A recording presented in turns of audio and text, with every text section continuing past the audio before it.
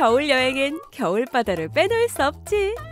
오늘은 발길 닿는 곳곳이 모두 바다가 펼쳐져 있는 남해로 여행을 떠나왔다.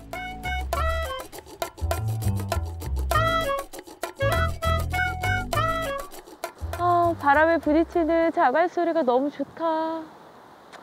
역시 혼자 여행 와야지만 들을 수 있는 소리지. 아, 난 오늘도 다 가졌어. 첫 번째로는 임진왜란을 종결 지은 이순신 장군의 노량해전이 일어난 곳이자 이순신 장군의 순국지인 남해에 위치한 이순신 순국공원을 찾았다.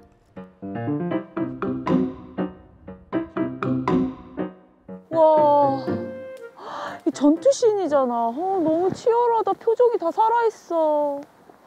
어, 이 장군님인가? 장군님 덕분에 지금 열심히 살아요. 당시에 격렬했던 현장감과 웅장함, 그리고 오묘한 감동까지 느껴지는 그림이다. 그리고는 이순신 영상관을 향해 걸어가 본다. 건물이 거북선 모양이다. 완전 거북선 같은데?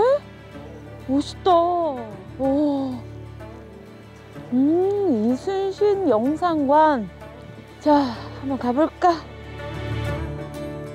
내부로 들어오면 이순신 장군과 임진왜란에 대해 자세히 알 수 있는 전시물로 가득하다. 이순신 장군의 생애, 임진왜란 7년의 역사, 이순신 장군을 도운 조력자 등 다양한 이야기를 만나볼 수 있다. 여기는요, 이순신 순국공원 중에 영상관인데요. 이순신 장군의 업적들 뿐만이 아니라 또 마지막 전투였던 노량해전에 대해서 자세히 알 수 있는 그런 공간입니다. 이 업적들을 이렇게 쫙 둘러볼 때마다 매번 가슴이 좀 뭉클해지고 항상 감사하는 마음을 새기게 되는 것 같아요. 당시의 생생한 모습을 보여주기라도 하듯 난중일기와 무기, 의복 등의 전시물은 살아있는 역사책과도 같다.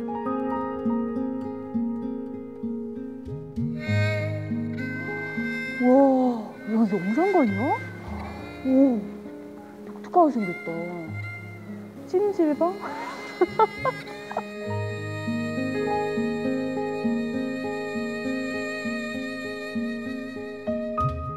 그 노량 전투, 불멸의 바다. 그치. 싸움이 급하니 나의 죽음을 알리지 마라. 아, 이 내용을 여기서 볼 수 있나 보다. 와. 이 렇게 돔 모양으로 돼 있네. 오, 기대된다. 오. 여기 앉는 게 좋겠다. 오. 오. 아, 거의 눕는데? 우와, 신기하다.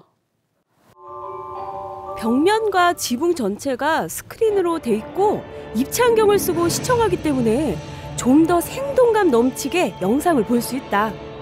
영상은 1598년 임진왜란 최후의 전투였던 노량해전의 격전을 볼 수 있다.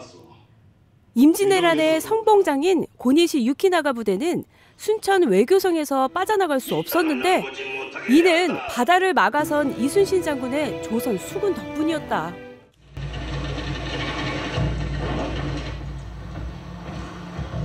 대감, 우리 뒤를 쫓아오던 함대가 있습니다.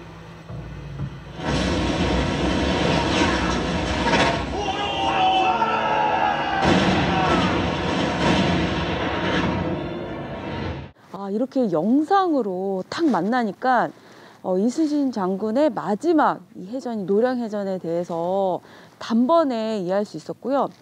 또 여기 영상관이 좀 독특한 형태로 되어 있잖아요. 완전 온통 다 이 영상이에요. 그렇기 때문에 더 가깝게 또 몰입감 있게 딱 이 해전을 또 볼 수 있어가지고 아 진짜 어, 완전 대작을 본 듯한 느낌이에요. 또 이렇게 하, 배우고 갑니다. 저도 나라를 살아가는 마음으로 열심히 살게요. 네.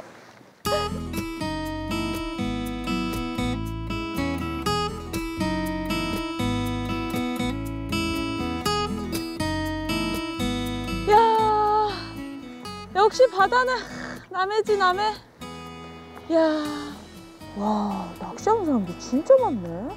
아, 맛있는 게 많이 나오나 봐. 아, 식사들은 다 하고 하는 건가? 헉! 오! 어머나, 회, 조림, 구이 다 있어. 아, 가야지.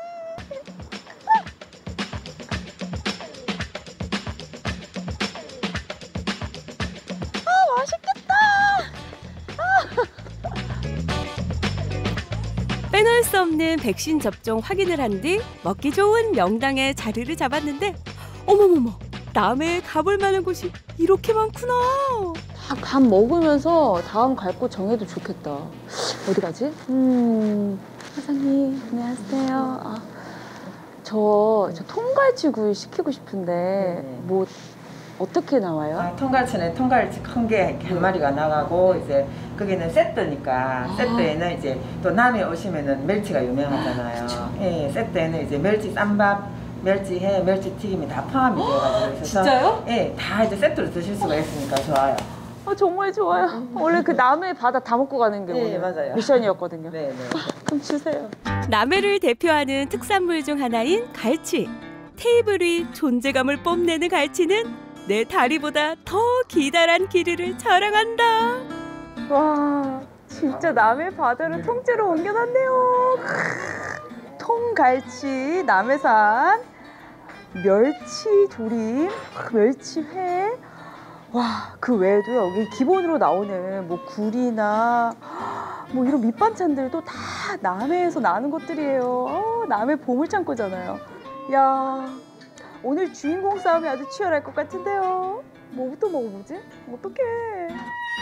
사장님께서 통갈치구이의 뼈와 살코기를 먹기 좋게 분리하는 법을 알려주셔서 그 스킬대로 살코기만 쏙 빼내 맛본다.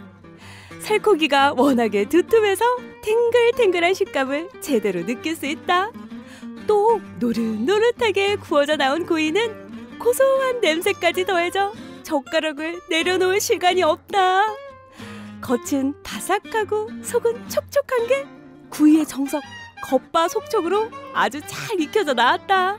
밥 안 먹는다고 투정 부리는 아이들도 이 구이와 밥만 있으면 뚝딱 먹을 맛이다. 와, 이 나무갈치가 이렇게 맛있었던 거였나? 일단 겨울철이다 보니까는 기름기가 싹 올라와 있잖아요. 그래서 겉에 이렇게 딱 입에 넣었을 때 그 막 풍미를 일으키는 막 기름기가 샥 한번 돌면서 속살은 아주 부들부들하면서 원체 이게 크다 보니까는 쫀득쫀득 식감까지 있어. 이번엔 멸치 요리를 맛본다. 멸치에는 비린 맛이 없어서 좋고 자작하게 졸여서 나온 멸치 쌈밥은 멸치가 오동통한 게 듬뿍 들어가 있어 좋다. 멸치 튀김은 튀김옷과 멸치가 만나 바삭하고 쫄깃한 식감을 내고 원재료가 좋으니 아쉬운 게 하나 없는 한상이다. 치열하다, 치열하다. 아니, 일단 품질이 우수하다 보니까 최고의 맛을 느낄 수 있습니다. 아, 어떡해. 아, 이거 오늘 1등 뽑아야 되나? 아, 저에게 그런 어려운 시련은 주지 마세요. 한 잔이 생각나는구만. 응? 너무 만찬이 좋아. 아, 이제 또 먹고 어디 가지? 음. 상주 모래비치? 아, 좀 걷긴 해야 될 것 같아. 자, 일단 다 먹고 가자.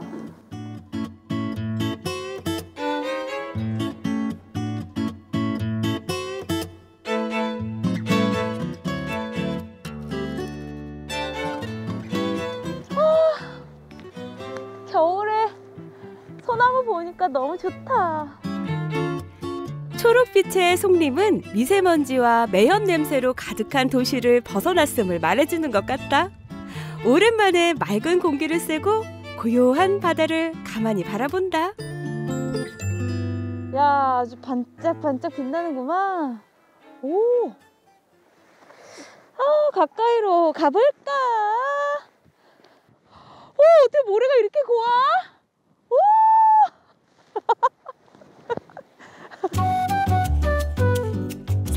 모래비치는 깨끗한 모래로 이루어진 넓은 백사장과 한려해상 국립공원의 청정바다로 이루어진 해수욕장이다.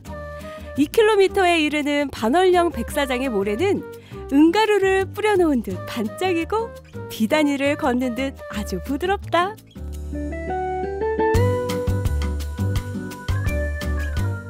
너무 예쁘다.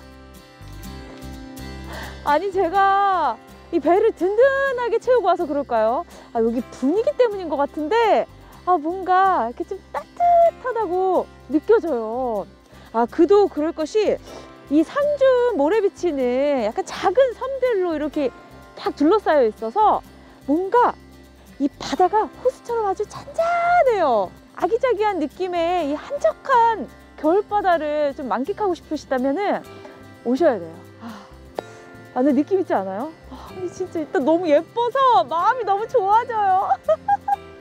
아, 내 마음도 이 바다처럼 고와져라. 발길 닿는 곳곳이 겨울바다의 매력을 품고 있어 이 시기에 가보면 좋은 여행지 경남 남해에서의 시간이었습니다.